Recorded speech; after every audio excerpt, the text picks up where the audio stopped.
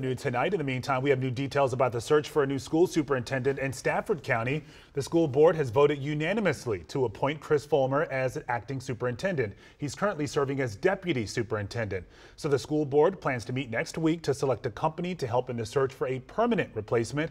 As we reported last night, outgoing Stafford County Superintendent Dr. Thomas Taylor has been chosen as the new superintendent for Montgomery County Schools.